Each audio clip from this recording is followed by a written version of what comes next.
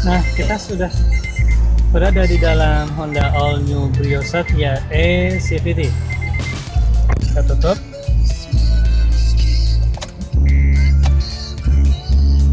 Kita matikan aja. Oke, jadi kesan pertama ketika saya memasuki All New Brio atau Brio terbaru ini adalah kabin yang sangat luas. Memang kalau dari luar kelihatan mobil ini sangat kecil, mungil. Tapi begitu Anda masuk ke dalamnya, relatif lebih lega ketimbang yang Anda bayangkan. Kemudian untuk posisi duduk ini sepertinya sudah sangat pas sekali ya. Artinya ngeket banget gitu loh. Karena memang ini tipenya semi bucket seat ya. Bisa meletakkan tubuh kita secara pas.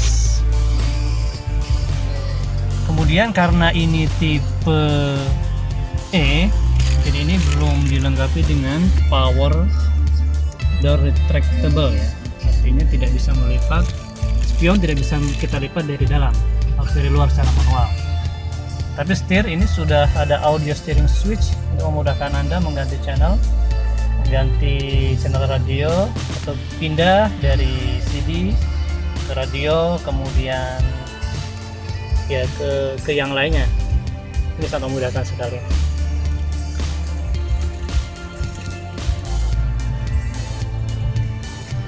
Untuk setir di semua tipe ini sudah bisa kita naik turunkan ataupun tilt ya sesuaikan dengan posisi mengendara Anda yang sangat pas tentunya. Dan tentunya uh, ini sudah bisa sliding ya.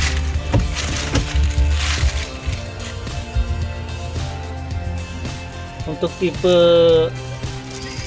Matic ini ataupun CVT ini posisinya ada parking rear untuk mundur normal untuk normal kemudian untuk bisa jalan sporty kalau ada kecepatan tinggi dan lower ketika nanjak ini sangat bagus sekali. Dan ini uh, eh, LCGC dengan mesin 1200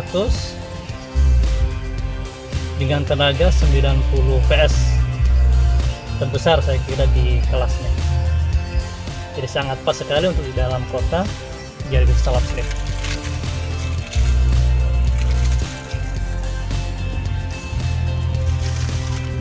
tipe Satya tentu ini masih menyatu ya. Tidak dengan tipe RS sudah bisa. Nah kalau untuk belakangnya sudah semuanya bisa. Bisa dilepas.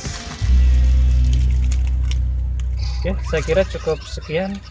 Jangan lupa pesan Brio ataupun Honda model lainnya. Mumpung diskon masih gede. Dan tentu Anda akan mendapatkan pelayanan yang sangat-sangat maksimal. Bonus melimpah dari saya Sekian, wassalam.